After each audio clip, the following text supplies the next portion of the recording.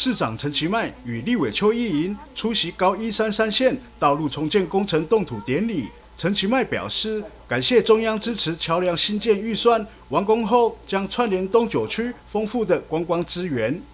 真的要感谢邱委员那样锲而不舍了哈。那从呃这个二零一八年的本来在溪底下的便道被冲掉之后呢，我上任之后把它原来的路路线。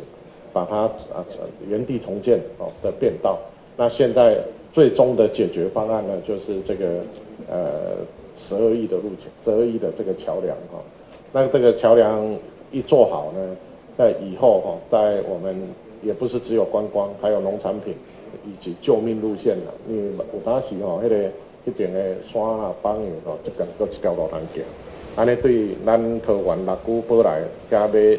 出来到咱市区来对吼，这条路会当讲非常的要紧。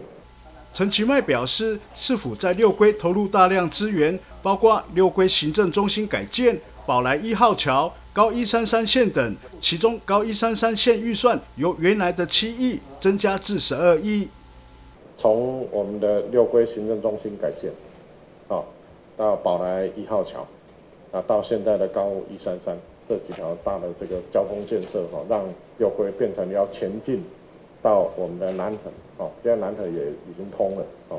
这段东西串联整个东九区观光的这个这个最重要的这个路线啊，也是我们的救命的路线啊。所以真的是非常感谢呃邱英委员哈，能够呃这个在地在中央了哈，呃能够帮我们争取呃这个很不简单的一个预算，这个其实是难度最高的。不然这些事情就不会留给我做了。嘿啦，头前吼，这钱简单一亿两亿吼，炸头前就拢做去啊。要十二亿的叫哦，实在是有够贵啦吼。